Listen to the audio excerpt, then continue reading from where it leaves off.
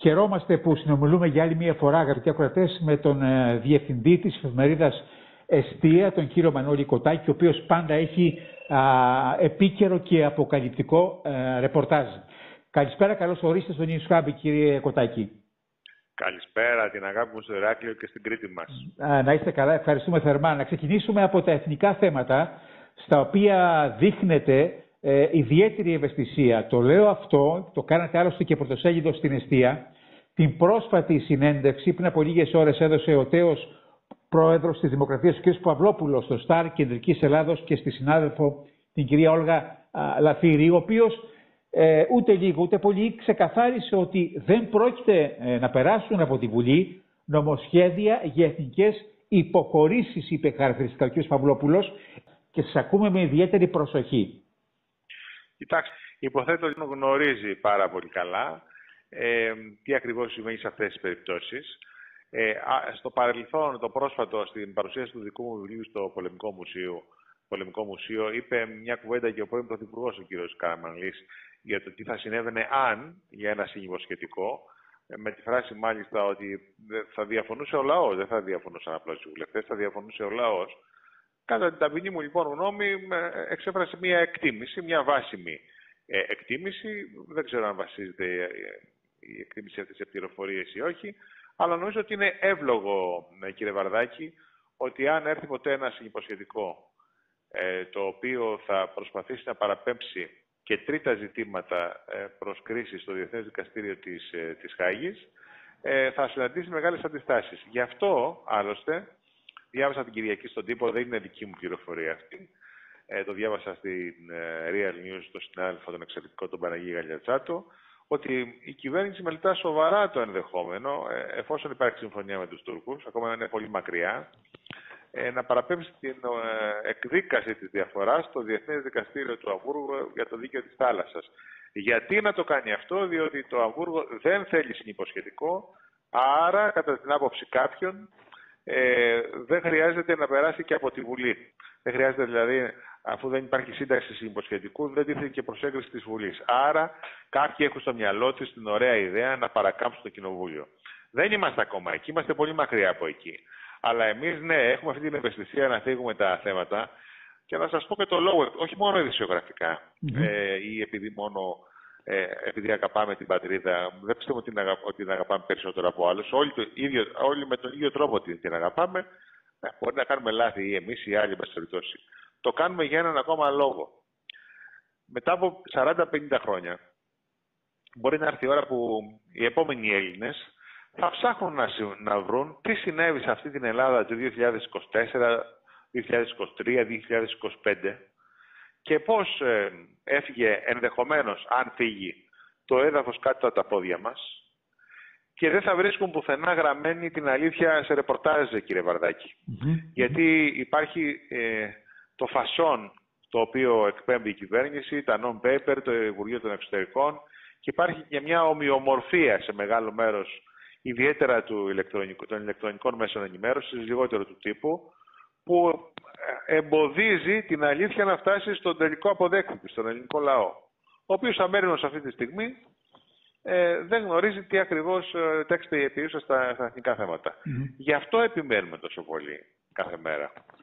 Σας ακούω έτσι ιδιαίτερα να ανησυχείτε για τα εθνικά θέματα και διαβάζοντας πάντα την αιστεία, ε, λέτε μεταξύ άλλων ότι έχει κλειδώσει πλέον μία συμφωνία μεταξύ Ελλάδος και Τουρκίας για τα έξι ναυτικά μίλια στο Αιγαίο. Ε, αυτό φαίνεται. Ε, δεν ξέρω αν έχει κλειδώσει πρακτικά, γιατί τα, εθνικά, τα, τα χωρικά ύδατα δεν είναι κάτι το οποίο μπορεί να κλειδώσει με διμερή συμφωνία. Τα χωρικά ύδατα είναι δικαίωμα κυριαρχικό, ασκής κυριαρχία βασικά. Ε, μόνο άτυπα μπορεί να συζητάς για τα χωρικά ύδατα, αφού είναι δικαίωμά σου προς τα πού θα τα επεκτείνεις. 6, 7, 8, 9, 10, 11, 12, εν περιπτώσει. Ε, όμως, ε, αν η κυβέρνηση γνωρίζει τι θέλουν οι Τούρκοι, μπορούν, μπορεί και να βγει και να πει ότι εγώ τα, το, το πάω στα 6 μίλια. Ε, μου είχε υποθεί, τώρα τι, τι με βάζετε να σκεφτω σε μια συνάντηση πριν, μπορεί να είναι και χρόνος, μπορεί να είναι και 8 μήνες, με κορυφαίο κυβερνητικό παράγοντα, ε, κάποια στιγμή μου είπε ότι εμείς δεν συζητάμε θέματα κυριαρχίας και κυριαρχικών δικαιωμάτων με την Τουρκία στο διαλογο Και τον ρώτησα, επειδή ε, με τα λίγα νομικά που ξέρω ιδιαίτερα στο Διεθνές Δίκαιο είχα καθηγητή το Στέλιο τον Περάκη και άλλους διακεκριμένους κάτι μάθαμε, τον ρώτησα δηλαδή εάν πάρουμε μόνοι μας την πρωτοβουλία, χωρίς να βγουν στο διάλογο με τους Τούρκους αυτά τα θέματα, ε, να κάνουμε τις εκπτώσεις, ε, μου λέει τότε αλλάζει το πράγμα. Ναι.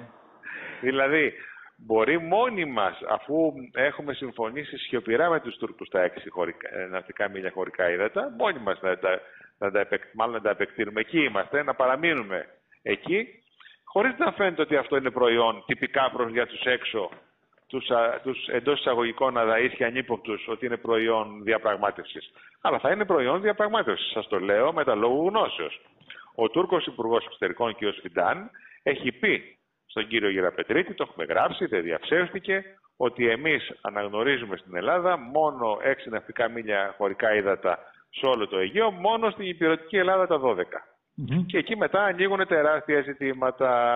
Γιατί αν, ανοίξεις το, αν κάνεις το Αιγαίο σαν κεφαλοτήρι, στην πραγματικότητα, και ανοίξεις δηλαδή θαλασσίους διαδρόμους και για τους γείτονες, θα έρθει η ώρα κύριε Βαρδάκη, χτυπάω ξύλο που το λέω αυτό, αυτό δεν αφορά, φοβά, νομίζω, την ακτοπλοεία από το Ηράκλειο προς τον Πειραιά, αλλά τα καράβια μας θα πηγαίνουν από τη Λέσβο και από τη Χίο και από τη Σάμο στον Πειραιά και θα πρέπει να περάσουν μέσα από χωρικά ύδατα τουρκικά να ζητούν και άδεια για αυλαβή διέλευση από τους Τούρκους που στο Αιγαίο. Δηλαδή αυτό, αυτό είναι μια, μια δυνητική διακοπή στην πραγματικότητα εντός εισαγωγικών της σύνδεσης, της απευθείας αδιατάρακτης σύνδεσης μεταξύ υπηρετικής και νησιωτικής Ελλάδας. Μου λένε καμιά φορά πολύ, μα όλο ανησυχείς, όλο αγωνιάς. Καλό είναι να ανησυχούμε και να, αγωνια, να αγωνιούμε, ξέρετε. Ε, διότι πρώτον οι αγωνίες και οι ανησυχίες αποτρέπουν καμιά φορά. Βεβαίως αποτελούν ε, ασπίδα, ναι, ναι, ναι, ναι. Υπάρχουν πράγματα τα οποία δεν μπορώ να καμαρώσω δημόσια, τα οποία όμως έχουν αποτραπεί εξαιτίας της αρθρογραφίας της αιστεία. Δεν μπορώ να το καμαρώσω δημόσια για εθνικούς λόγους. Αλλά και λάθος να, να κάνουμε, εμείς λέμε πάντοτε στους συνομιλητές μας το εξής. Εάν εμείς κάνουμε λάθος, το λάθος το δικό μας δεν θα το πληρώσει κανένας εκτός από εμάς. Γιατί εμείς θα καταστούμε αναξιόπιστοι. Και εκεί τελειώνει η ιστορία, αλλά δεν θα την πληρώσει το έθνος. Αν κάνετε εσείς όμως λάθος, τότε το δικό σας το λάθος θα το πληρώσουμε και εμείς και εσείς και οι επόμενες γενιές, και οι αγέννητοι και οι νεκροί, ε, κύριε Βαρδάκη. Γι' αυτό έχουμε ανησυχία και γι' αυτό έχουμε αγωνία. Έχουμε τα έξι ναυτικά μίλια, τα 12, εσείς ανησυχείτε για τα έξι ναυτικά μίλια, έχουμε την ΑΟΣ, έχουμε το ε, ελληνοαιγυπτιακό μνημόνιο συνεργασίας, το οποίο φαίνεται στον ορίζοντα να απομακρύνεται αναφορικά με την υλοποίησή του τελικά. Ε, είπε μια κουβέντα εκεί ο Υπουργός ναι. και μετά εξαφάνισε τη συνέντευξη από τα ιστοσελίδα του Υπουργείου των Εξωτερικών και αφού του το γράψαμε δύο-τρεις φορές, αναγκάστηκε να την ανεβάσει. εκεί ποιο είναι το μυστικό, αλλά θα επανέλθω στην ουσία, γιατί όλα είναι ένα θέμα. Ε, το, το, το, μέγα θέμα είναι ότι θα αποκτήσουμε συνέτερο στο Αιγαίο. Αυτός είναι ο στόχος. Εκεί λοιπόν ποιο είναι το μυστικό; Το μυστικό είναι ότι η Συμφωνία Μερικής Οριοθέτησης, αφού δεν ήταν ολοκληρωμένη, αναγνώριζε μειωμένη επίρρεια στην οριοθέτηση θαλασσίων ζωνών, πόσο δηλαδή επιδρά ένα νησί, ο νησιωτικός όγκος στην, στην οριοθέτηση μιας θάλασσας, στην Ρόδο, ε, στην, ε, στο Καστελόριζο, νομίζω στην Κάσο και βεβαίως και στην Κρήτη. Στην Κρήτη νομίζω δεν, δεν είναι αυτή τη στιγμή πρόχειρο να σας πω, μπορεί να ήταν και μηδενική επειδή ήταν μερική οριοθέτηση. Μπορεί να κάνει και λάθος όμως, έτσι αυτό, σε αυτό ελέγχομαι. Αν λοιπόν πάμε με αυτές τις επίρρειες να οριοθετήσουμε τώρα ω στη Μεσόγειο, με επίρρειες της τάξης του 0, του 5, του 10, 15%, τόσο να επιδρά δηλαδή το νησί και όχι περισσότερο, τότε στην πραγματικότητα χάνουμε θάλασσα. Ναι. Στην Ανατολική Μεσόγειο. Ε, επί, και, αλλά επειδή κάποιοι εδώ πέρα δεν έχουν την ευαισθησία να καταλάβουν ότι όταν χάνεις ζωτικό χώρο δεν είναι μόνο το έδαφος που έχει αξία, και η θάλασσα έχει τεράστια αξία και δεν το εξηγεί κανείς στον ελληνικό λαό, Κάποιοι ποντάρουν ότι θα πούμε μακρά ειρήνη, τι έγινε αν χάσει τη θάλασσα στην Ανατολική Μεσόγειο, μακριά είναι, τι έγινε αν χάσει και λίγο αέρα, έδαφος δεν χάσαμε. Πάμε τώρα να βάλουμε να συσκευάσουμε την συμφωνία σε ένα κουτί με ένα ωραίο κορδελάκι, να το πούμε μακρά ειρήνη, σύμφωνα με τη θέσεω και να το δώσουμε στους Έλληνες για να το καταναλώσουν και να τους πούμε και εν πάση περιπτώσει στο τέλος της γραφής και τι θέλετε να κάνουμε. Πόλεμο, βεβαίως. Πώς να κάνουμε πόλεμο, αφού μπορεί να δώσεις και θάλασσα και χωρίς πόλεμο. Αυτό, αυτό είναι το, το, το ιδεολόγημα το οποίο αναπτύσσεται μπροστά στα μάτια μας ε, και μάλιστα με, με επιχειρήματα. Αυτό είναι τα οποία τα πιστεύουν κιόλας. Αλλά το βασικό, επανέρχομαι κύριε Βαρδάκη, το βασικό σε όλα, είτε συζητάμε για ΟΖ, είτε για υφαλοκρηπίδα, ε, είτε για τις οριοθετήσεις, είτε για τη συμφωνία με την Αίγυπτο, το βασικό είναι ότι θέλουν να γίνουν και οι Τούρκοι συναφεντικά, για να μην πω αφεντικά, στο Αιγαίο. Αυτό είναι το μέγα, το μέγα ζητούμενο. Είπατε ότι ένα σενάριο λέει για προσφυγή στο δικαστήριο δικαίου θαλάσσης από την πλευρά της κυβέρνησης, από την πλευρά του Μαξίμου. Αυτό α, δείχνει ότι απομακρυνόμαστε από το Διεθνές Δικαστήριο της Χάγης για τις διαφορές μας; Όχι, αυτό το οποίο ξέρω καλά είναι ναι. ότι ε, επιμένει ο Υπουργός Εξωτερικών για το δίκαιο, για το Διεθνές Δικαστήριο του Αμβούργου. Το είχαμε κάνει μάλιστα όταν σαν πληροφορία, πρώτο θέμα η αιστεία πριν από πολλούς μήνες. Εμείς βγάλαμε πρώτη αυτό το θέμα. Και όταν το γράψαμε αυτό, ε, διάφοροι διαπρεπεί διεθνολόγοι, του οποίους συνάντησα στον Άφλιο σε μια συνάντηση διεθνολόγων μηδέ του κυρίου Ροζάκη περιλαμβανομένου, ε, ε, αισθάνονταν ευνηδιασμένοι, γιατί είχα μιλήσει σε αυτό το συνέδριο. Αισθάνονταν ευνηδιασμένοι όταν είπα για το Αμβούργο ότι είναι σκέψεις της κυβέρνησης και του Υπουργείου των Εξωτερικών και το θεωρούσαν και ψηλοαπίθανο. Τώρα υπάρχει τουλάχιστον ακόμα στο τραπέζι. Δεν ξέρω αν θα, θα πάνε εκεί, αλλά στο τραπέζι υπάρχει σίγουρα. Τώρα, σε αυτό το θολό α, πολιτικό τοπίο, να συζητήσουμε λίγο και τα εσωτερικά, τι εννοώ, το τι συμβαίνει στα κοινοβουλευτικά κόμματα, στη λεγόμενη δεξιά και κεντροαριστερά. Ε, βλέπω μία αδύναμη, να μου επιτρέψετε, ίσως και σμπαραλιασμένη κεντροαριστερά. Η κυβέρνηση ε, περνάει, εκτιμάται τη γραμμή της επειδή βλέπει αυτή την εικόνα της αντιπολιτεύσεως; Η κυβέρνηση επιδίωξε να συμβεί αυτό και τώρα είναι θύμα της γραμμής της, κύριε Βαρδάκη. Θέλω να θυμίσω ότι κάναμε εκλογές το 2023 με μοναδικό θέμα το ΣΥΡΙΖΑ. Δεν συζητάγαμε καθόλου για τον απολογισμό της κυβέρνησης της Νέας Δημοκρατίας. Αν θυμάστε καλά, κάναμε εκλογές για το παράλληλο νόμισμα του κ. Τσακαλώτου, για το σχέδιο Δήμητρα του κ. Βαρουφάκη, για τη βίλα του κυρίου Ραγκούση στην Πάρο, για τις ασφαλιστικές εισφορές του κυρίου Κατρούγκαλου, για το φράχτη, τι έλεγε για το φράχτη τότε ο κύριος Παπαδημούλης. Δεν συζητήσαμε τίποτα άλλο σε εκείνες τις εκλογές. Στην πραγματικότητα, ε, όλες εκείνες οι εκλογές ήταν ένα σχέδιο συντριβής του ΣΥΡΙΖΑ. Mm. Το οποίο και επετέφθη. Έχει επιτευχθεί.